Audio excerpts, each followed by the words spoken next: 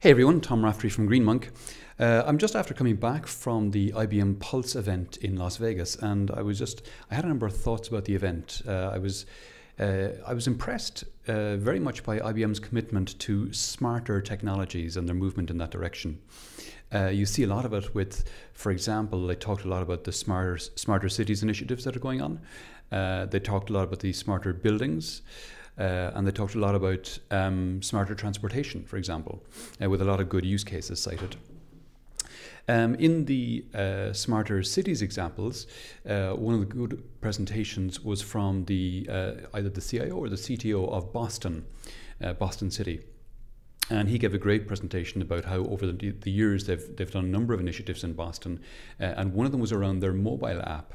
And they have a mobile app which empowers the citizens of the city to go out and if they see some graffiti or if they see some potholes or things like that, they can just take a photograph of it with the application and it's automatically sent into a work order, uh, assigned to someone to fix it. Uh, and then when it is fixed, uh, the person who reported it gets a notification in their app to say that Joe from Boston City Municipal uh, Anti Graffiti section or whatever has cleaned up your message and thanks.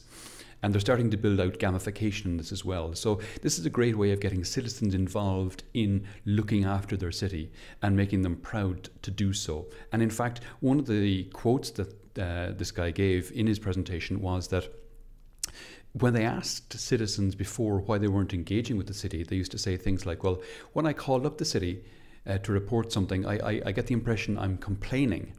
Whereas now, when I use the application, I get the impression that I'm contributing, you know, that I'm helping make my city better. So I thought that was a great, uh, a, great um, soundbite around why these kinds of initiatives are important for cities and for getting citizens of cities engaged with their cities. Uh, in the smarter buildings, uh, there was a lot of uh, Tririga um, um, uh, sessions in the event.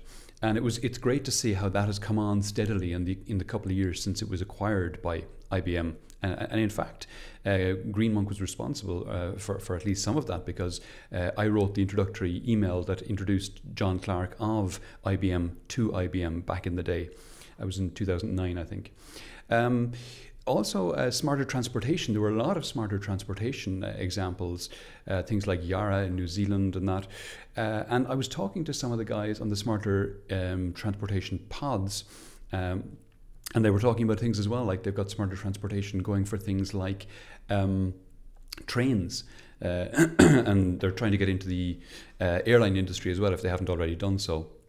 So getting things like bus fleets and rolling stock of trains on that helps enormously with things like, you know, even the, the they've got predictive analytics working in it now. So uh, someone who owns a bus fleet or a rolling stock and trains, they can see ahead of times when things are likely to fail. So if they see that a, an actuator is going to fail or, uh, I don't know, some component of, of, of a train or of a bus is, is coming close to failing, Instead of waiting for it to fail and have the machine be down for longer while parts are sourced, you can source the parts ahead of time and then commission when it goes uh, in for preventative maintenance.